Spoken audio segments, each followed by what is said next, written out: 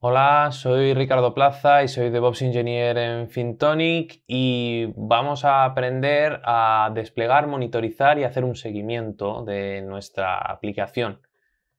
Eh, básicamente, para centrarnos un poco, tenemos un plan de despliegue que debemos seguir. Entre ellos es básicamente eh, hacer un push de nuestro código a un repositorio que tengamos en GitLab.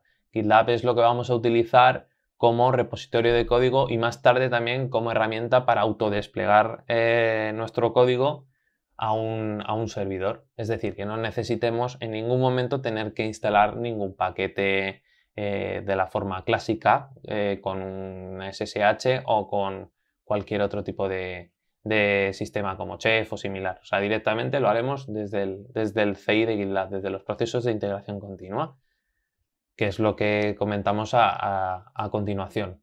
Cuando, cuando este código se sube, se dispara un trigger. Ese trigger que se dispara se hace a través de un fichero YAML que hemos formado nosotros, eh, llamado gitlab-ci.yml.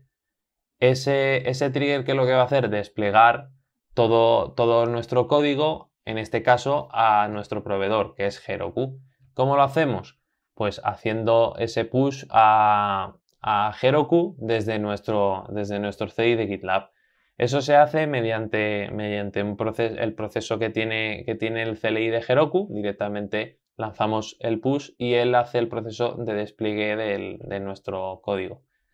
Si estás interesado en ello o te da mucha curiosidad lo que te acabo de comentar, puedes ir al curso sobre Google Home IoT que yo hago aquí a la izquierda.